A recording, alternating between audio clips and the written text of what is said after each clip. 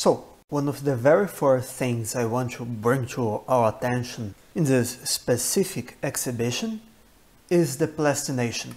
There are many ways of conserving cadavers, the bodily remains of people, and anyone who has gone to medical school knows very well that formaldehyde is the most commonly used. Sometimes they use like glycerin and some other things. Well, I've been to medical school and Anyone who has had this experience for sure knows how strongly formaldehyde smells. Back when we were there in the anatomical center, uh, there was a joke when people were talking about the cranial nerves that the first cranial nerve you stimulate is the olfactory because you first feel the smell of formaldehyde and only then you see the anatomical pieces.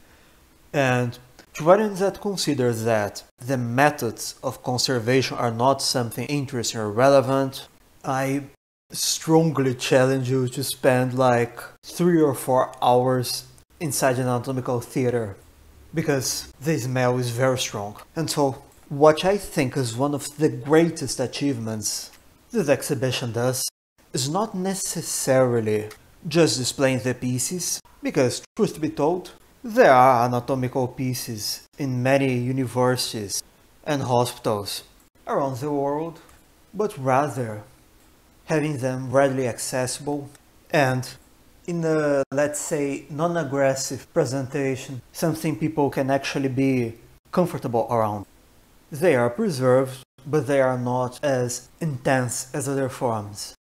And so here we have an example of the process of plastination mentioned before.